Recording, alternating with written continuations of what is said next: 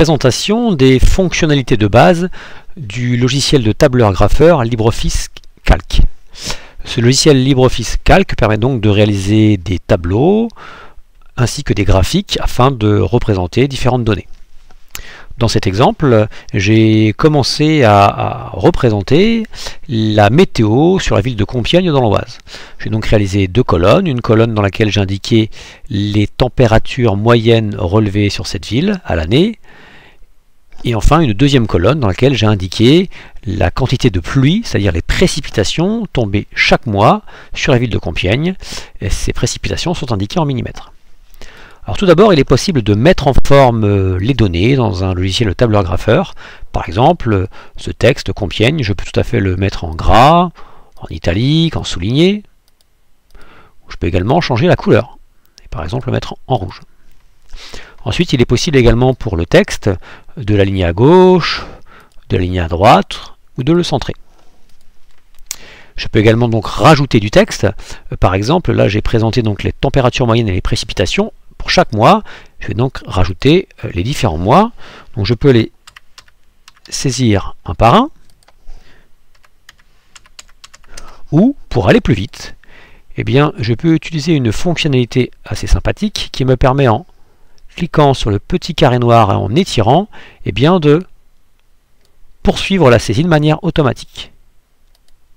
De la même manière, si j'avais indiqué les chiffres 1 puis 2, en les sélectionnant puis en cliquant sur le petit carré noir en bas à droite, j'aurais pu étendre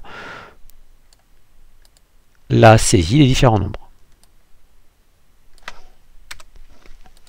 Le logiciel LibreOffice Calc permet également donc de mettre en forme les différentes cellules en ajoutant un, un quadrillage, un cadre sur ces différentes cellules. Pour ce faire, il suffit simplement de sélectionner les cellules, puis d'indiquer que nous souhaitons y mettre des bordures.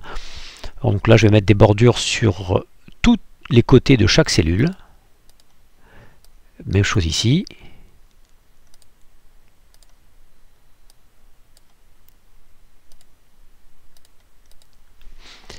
Et enfin, le logiciel LibreOffice Calc permet également d'automatiser, de, réaliser des calculs.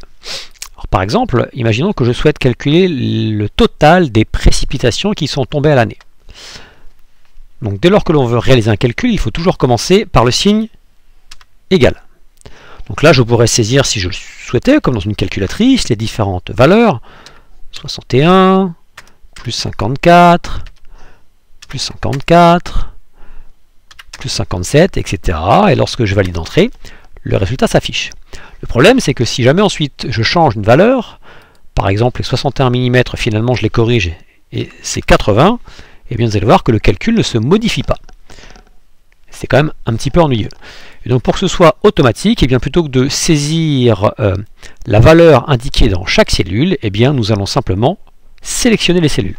Donc on commence toujours par égal, et puis nous allons sélectionner chaque cellule. Donc la première cellule, c'est la cellule C3, donc la cellule dont les coordonnées correspondent à la colonne C et à la ligne 3. Je sélectionne donc cette cellule C3, et ensuite j'ajoute plus les différentes cellules.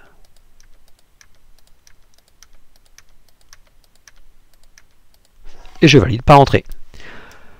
Le calcul se fait donc de manière automatique, et dès lors que maintenant je change une valeur dans une cellule, le résultat se modifie automatiquement. Une autre méthode est possible. Je peux également utiliser un assistant pour réaliser des fonctions. Et donc pour ce faire, eh bien, je vais encore une fois commencer par le signe égal. Je vais aller dans l'outil insertion et je vais demander d'insérer une fonction. Je n'ai plus qu'à chercher la fonction que je souhaite. Là, je souhaite réaliser une somme. Je sélectionne la fonction somme. Je fais suivant. Et puis je vais maintenant lui indiquer les différentes cellules que je souhaite euh, ajouter entre elles. Il s'agit ici des cellules C3A, C14. Cellule C3, C14, je valide sur OK. Et voilà, ma somme totale s'est réalisée. De la même manière, je peux également réaliser une moyenne.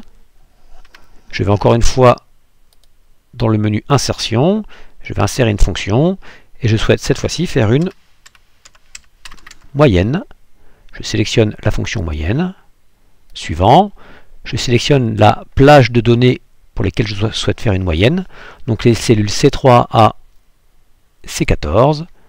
Et je valide en cliquant sur OK. Et voilà, j'ai donc le résultat. J'ai donc les précipitations mensuelles à l'année sur Compiègne, pardon, les précipitations moyennes à l'année sur Compiègne qui sont donc de un peu plus de 60 mm d'eau. Et enfin le total des précipitations à l'année sur la ville de Compiègne.